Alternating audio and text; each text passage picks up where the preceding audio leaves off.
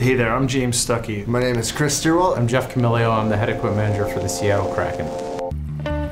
On any given trip, I'd say in total we're getting up to around 50 bags that we're loading, besides actually the trunks that we have as well. Pull up to the belt loader and then we start kind of firing everything onto the plane, which has kind of an order of the way things have to go on the plane. Sometimes you gotta space out your equipment in the plane. You can't have too much weight in the front or the back. You would think that there's plenty of room underneath those planes, but once you get under there, it's a pretty tight area, and if you don't start loading trunks and then bags, you can find yourself into some trouble and having to basically unload the plane to reload the plane.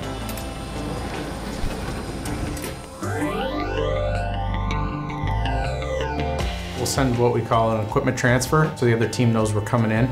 Every team has an Evan Elliott like our like we have here in Seattle. He's tasked with dealing with the visiting team, and so that guy picks us up at you know whatever city we're flying into. Walk off the plane right to the belt loader, load up the visiting team's truck.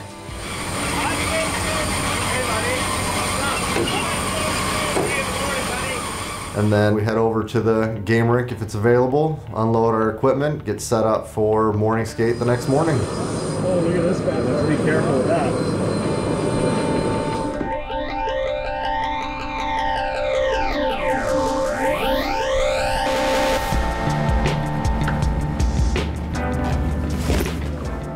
Usually it takes us about an hour to get everything from the truck and ready to go for the next day.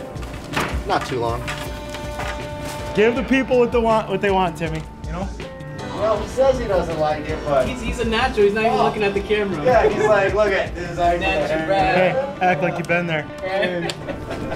First time I've seen you put product in your hair all year. Are you confusing me with Kris? Oh wow! Look at that, friendly fire now.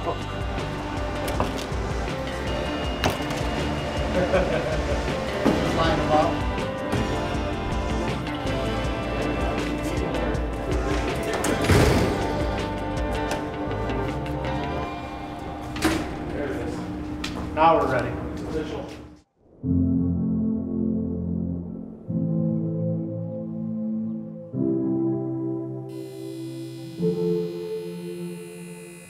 Traditionally, we're on the ice at 11:30 on the road, and so we'll usually get to the arena around 8. We'll touch up any blades that need to be finished up for, for that day. Each guy has three sets of steel, and so it's just a it's just an ongoing rotation every time they pull a guy's steel off and there's trauma in the steel or there's big nicks or anything. We rotate them so they always have fresh steel and two good edges on each blade. When the skate comes out of the blade, it gets sharpened and it goes into a box that we call the B box. And then we take the blade that was in the B box, rotate that into the game box, and then the blade that was in the game box goes into the skate. That creates the rotation. So this is what I was talking about here. These are the, two cases we use. We just we just rotate them through every time we sharpen. Whenever the guys are on the ice, we always try to make sure that we have an equipment staff and a medical staff on the bench for whatever may come up. Stucky will make sure that the bench is ready with water bottles and stuff like that, and make sure the players have everything they need. Explode in your hand? Yeah. yeah. That just is kind of the start of our day on game day. And then we just kind of tackle whatever comes up in the morning as a team to, you know, be ready for when the guys hit the ice. Thank you, my friend. You got it. The three of us, we just kind of make sure things get cleaned up, make sure laundry gets pulled out and start hanging jerseys and getting the room cleaned up for game time. The plan is to have everything ready to go for when everybody gets there. So during the game, I'm pretty much just support, uh, close to the bench if we need anything. This is a tight bench, so only Jeff goes on it here. You don't have my socks. Your feet socks? Yeah. What, Do we uh, have any? Which ones were you at? The Swiftwick? These ones? Yeah. The Kraken head down to the desert, the Gila River Arena for the final time to take on the Arizona Coyotes in the beginning of a three game road trip. On a change of fresh Haydn Fleury. Here he comes. Hit. Hayden got hit along the wall, and his heel actually hit the boards to where his blade broke. So then I had to run back, grab his backup skates, bring his backup skates on for him to put on, Whoa.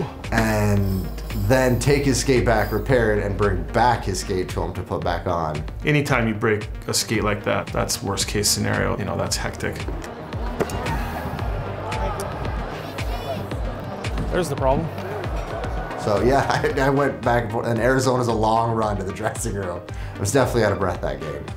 And then third period is when we kind of get going. Kris and I are in the back pre-packing, getting the equipment truck partially loaded. Once the final buzzer rings, usually me and Stux are in the middle of the dressing room trying to grab all the jerseys. I'll start packing up the sharpeners and packing up trunks as best I can to get us out and loaded.